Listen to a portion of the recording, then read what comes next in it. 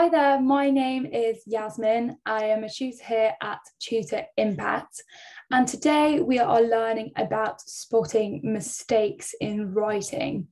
So, this video goes hand in hand with my videos on how to write a story and how to write an essay. And it's really just to stress the importance of learning to proofread and learning to be able to spot your mistakes. Now, it's really important when you have written something that you um, don't skim over it and pay attention to the detail to ensure that you don't have any errors, be that grammatical or spelling. And it's really important to go away and come back and read it with a fresh mind. So, the structure of this lesson today is we're going to go through a couple of common mistakes when it comes to um, writing. And then we are going to look at a couple of passages and I'm going to see if you can spot the mistakes in them. Now, you might already know a few of these common errors, but it's really important you'll get to grips with learning the differences between them, especially when they are similar words. So we're going to start with the words you are and your. So your and your um, as they are pronounced. So these look very similar, but they are in fact very different words. And although they're pronounced the same, when you're writing these words down, you need to ensure that you're using the correct version. So the first one, you're, the one spelt U, U apostrophe R E, is actually a contraction of the phrase you are. So it doesn't mean the same as the other spe- uh, the other spelling. So it's a contraction of you are. So it's a quick way of saying you are. So it means exactly the same thing, it's just shortened down. So an example of that is you're going to love my cat. So you are going to love my cat, but that's shortened down to you're going to love my cat. Now, you just need to remember that the apostrophe signifies that um, a letter or more is missing. So here we are removing the letter A from the phrase you are, and we're just joining them together by using that apostrophe. So you're just means you are, it's just a contraction of the word. Whereas the other version of your, which is pronounced exactly the same, is actually a possessive adjective which is used to show ownership. So this one is not a contraction because it's in fact a possessive adjective, um, as I said, which is used to show ownership. And it is typically followed by a noun. So we can see that here in the example. I like your cat. Here we have the possessive your and cat, which is the noun that follows it. So your cat you can see how your, the possessive adjective, describes the cat because this is the cat of you. So it is your cat. So that's the difference between those two. One is a contraction of you are, and the other one is possessive. The next common words we're going to look at are there, there, and there. So again, they are all pronounced exactly the same. So when it comes to spoken English, you don't need to worry about this. But as we said before, when we're writing it, we need to make sure we're using the correct one. So the first one is there, spelled T H E R E. And as it says here, it's usually about location. And the way I used to remember this when I was younger is it has the word here in it. So we know the word here is used to describe location, and that can be seen in the four letters after the T.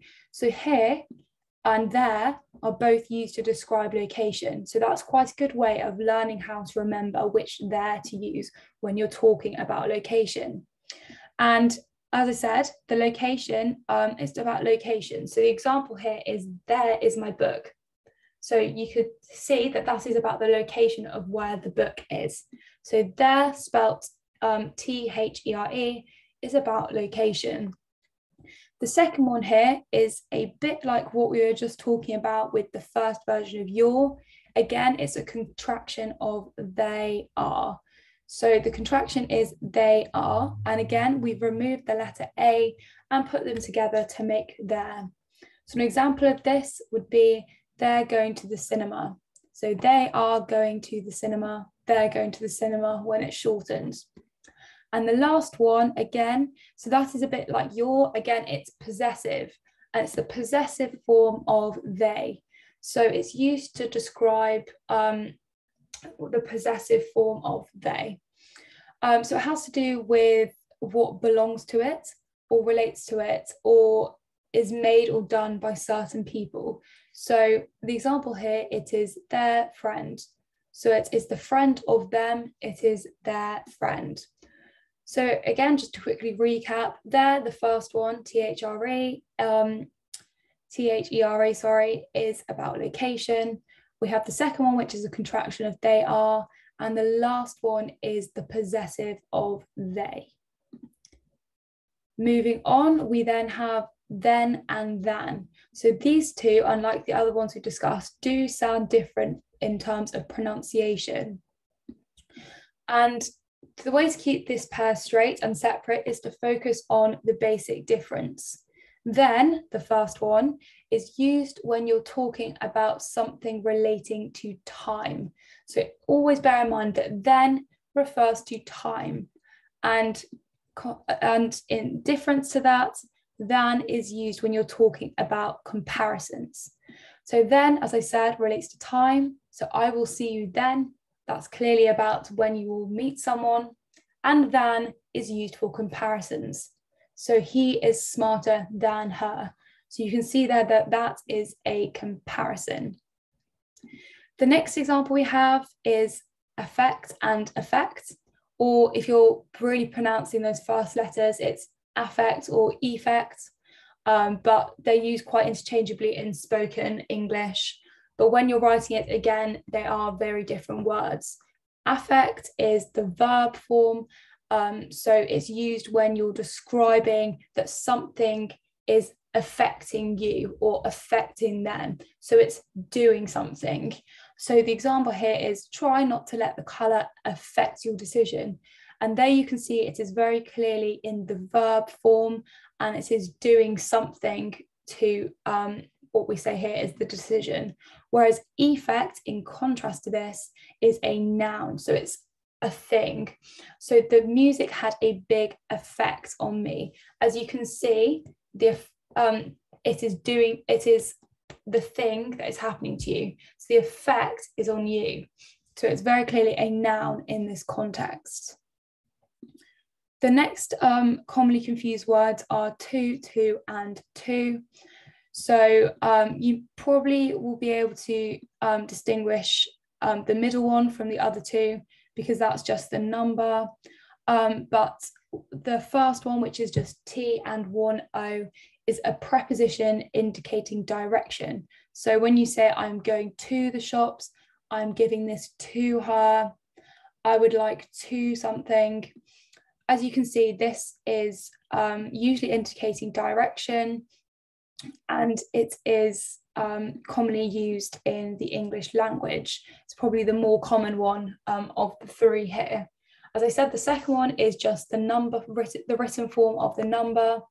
Um, and then the last one we have here is TOO, which is actually an adverb um, meaning in addition or also. So you like that photo too. Um, I like cats too um, as you can see, it is basically just means in addition or also. Um, so it's not used as frequently as the other two. Okay, and I think this might be the last one, but um, it's and its is also very commonly confused. So the only difference here again is that apostrophe, so it's similar to the first sort of ones we looked at. And it's probably, yeah, as I said, one of the most two most commonly confused words. So again, they're pronounced the same and there is a very small difference in how they're written. So it is easy to mistake them. So the first one here is it's with no apostrophe. So it is is just a possessive word in the same way my or your is. So here the example is I walked the dog and held its lead. So as you can see, it's the possessive, the its is referring to the dog, and it's possessive of the lead, which is the um, word that goes with it. Whereas it's with the apostrophe in it is again in the same way you, your, and um, there with the apostrophes in for they are and um, you are is also a contra- contraction. And it's the same type of contra- contraction as where's, there's, and words like that. So it um, stands for it is. So the example here is it is over there. So it's over there. So it's just the shortened form again. And similarly to the ones we discussed before, it's just removing a vowel. So the here, the letter I is removed and the words are put together. Now, these are some of the most commonly confused words. Obviously, there is a lot more um, similar words in the English um, vocabulary, but I think these are probably the most common ones. What we're going to do now is I'm going to give you one minute and I want you to spot all of the mistakes in this text. So I want you to have a look through and you've got until the timer reaches the end to find as many as you can.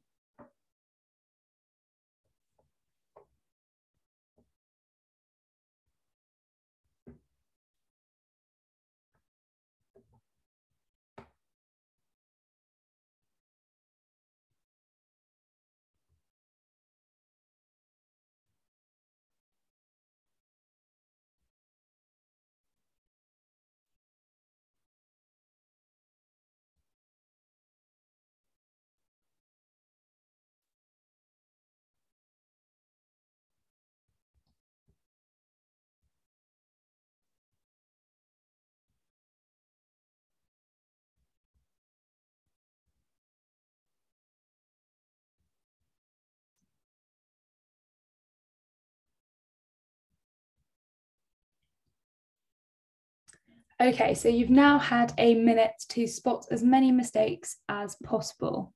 So I'm now highlighting all of the mistakes that you should have spotted. So I walked the shop to meet you and your friend.